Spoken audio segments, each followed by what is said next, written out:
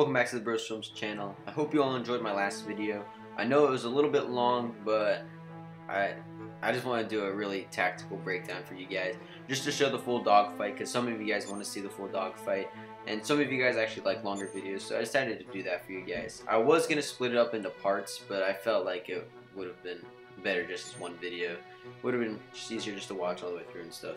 But anyways, how perfect timing did the Wings of Duty update came out? Today's Thursday, so I do reviews on Thursdays, and the new Wings of Duty update came out today on Thursdays. So that's pretty lucky of me, so I'll be able to do a review on it. So let me go ahead and tell you guys what they did. And they actually added some pretty cool stuff, which is pretty nice.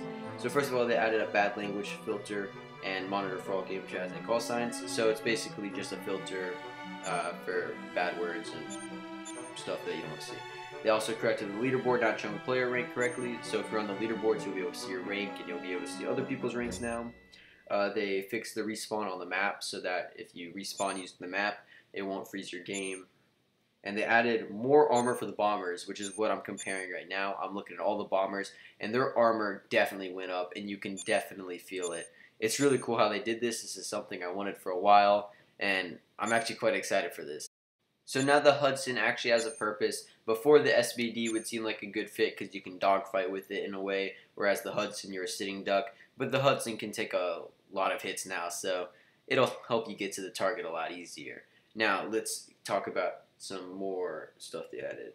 So they also added improved voice chat, which I haven't really played around with. I'll probably do that the stream, so we'll test that out there. And then some other small bug fixes, which are unknown. But it's basically just improving the general quality of the game. So right now I'm kind of comparing the B26 and the HE111 and I did some pretty precise measurements. I brought out my ruler and they're both three centi- they're both three millimeters from the end of that bar. So I'm assuming, I'm pretty sure I got this right, guys, that they have the same armor. So if you want to know which one's stronger than the other, they both have the same armor.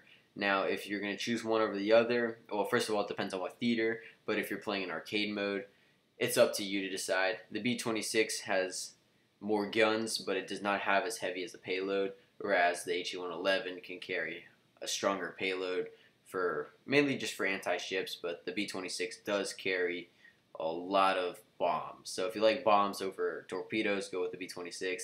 If you like torpedoes over bombs, go with the HE-111. Or if you just want a better chance of getting to the target, go with the B-26. So yeah, let's get straight into this video. I got some pretty awesome B26 gameplay for you guys, which I hope you all enjoy, and it definitely shows off how strong this armor is. Prepare to watch the strongest bomber in the game with the strongest armor. So we're going to go ahead and get started here, just right off the spawn, and I noticed that these guys probably weren't going to get on me, even if they did, they wouldn't be able to keep up with the B26's speed. So I'm going to go ahead and just turn on them here and just take them out by myself. And the B-26, it's a really heavy plane, so it's definitely going to be tough to turn.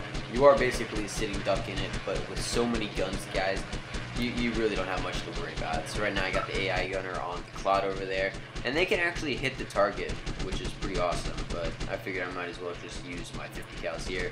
I actually have gotten some AI kills, which is pretty awesome too. I remember some of my first kills in realistic mode for Wings of Duty was in the SBD Dauntless.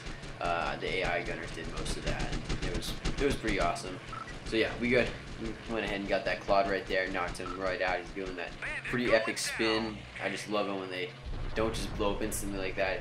They make it they make it really cool. Now this Kate is on us, and he's probably not going to be able to do much. However, he ends up hitting us, but our armor is so strong, those rounds bounce.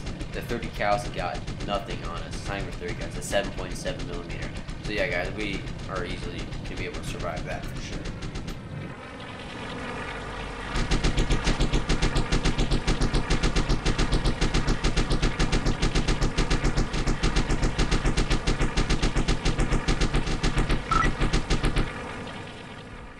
You picked the wrong update to go head on head with the B-26. More bandits, not a problem. So we're gonna go ahead and get hit here a little bit.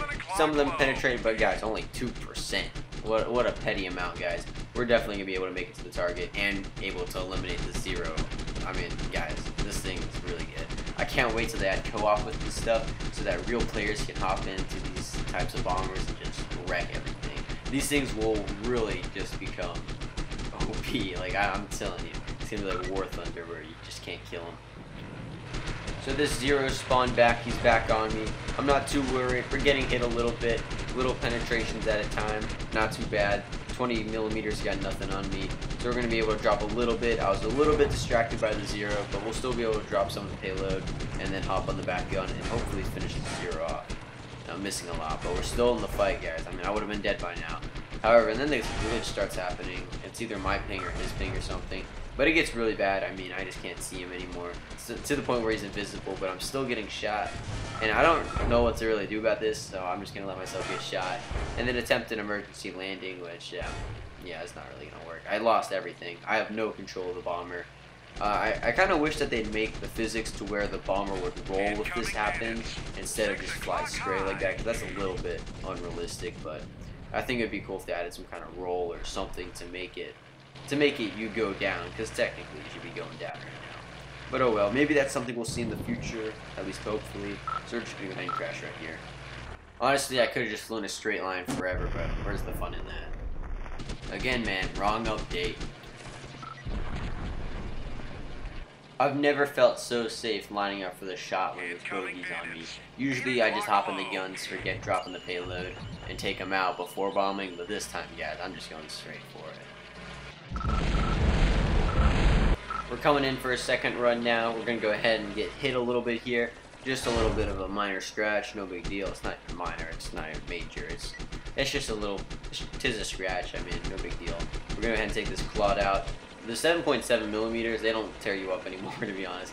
I mean, they will rip you apart, but you can't just instantly get blown up now, which I love. I haven't really fought the Hind yet, or a Focke-Wulf, so we'll see how that works out. But as far as I can tell, I've been surviving a lot more easily.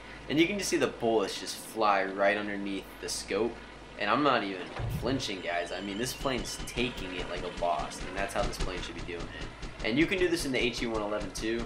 It's just the B-26, guys. I mean, I just, for some reason, I just feel like it's going to end up being more durable. So we're going to have this zero pop out of nowhere, and it's going to hit us up a little bit. But we're still in the fight.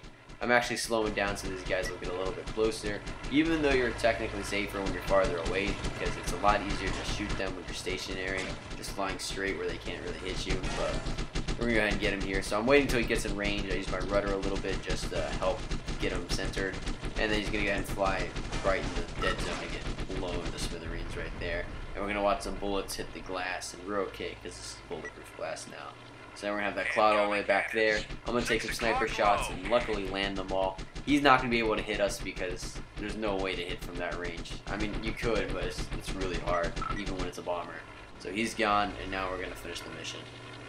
We're making the third pass. We're going to get hit just a little bit, but we're still in the fight. We're going to drop the remaining bombs on this carrier right here. You can see that Claude fly run underneath us. But we're definitely okay. We're only at 64%. Okay, 50. Okay, it's just going down, guys. No need to count. I kind of wish they'd add the new damage models to the B26 when they can, or if they... I don't know if they will. I heard they wouldn't, but it'd be really nice to see it happen, or maybe to a B17 if they add that. Because, guys, bombers with the new damage model would be so sick, and especially with co-op and everything. It'd be awesome if you could, like, kill crew members and stuff, shoot them out. It'd just be even better. So right now, we're flying. This guy's blagging out again. I'm getting a little worried because we're getting shot out of nowhere. So I, I, I'm really just a sitting duck right now, so I'm just going to head hit for the beach this time, and this time we're going to become stranded. He's visible now, so we're going to be able to take him out the second we try landing. I trust the AI gunner. I believe he, he has skills enough to land some of those shots, which maybe he does, maybe he doesn't. But that zero is getting really close. We can see the bullets going all around us. We're going to get hit a little bit maybe.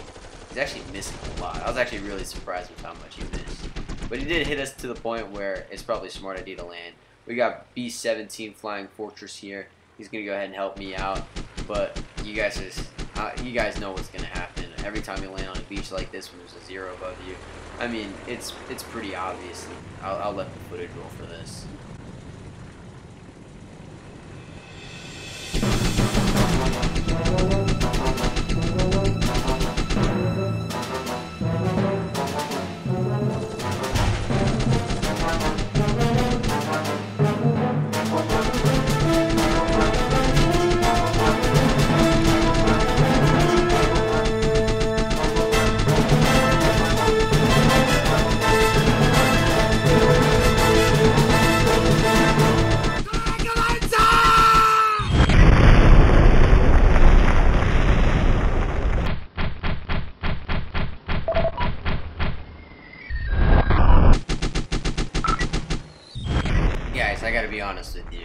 This is one of the most epic banzais I've ever seen. Like, he even dropped the bombs. He was going full out. Like, the dedication in that pilot was just amazing. Like, that was just really epic, guys. Tell me your best banzai moments in the comments below. This was, I'd love to hear them. This is this is just insanely awesome. It's just what this video needed. People have been commenting, Gabe, where's the banzais? What's going on? Here it is, guys. Here's your perfect example. This is just awesome. So with all that being said, I'm going to go ahead and conclude the video here for you guys. I hope you all enjoyed. If you did, please hit the thumbs up button and subscribe if you're new. Also, don't forget, t-shirts are still on pre-order for the next two weeks, so go check them out if you haven't.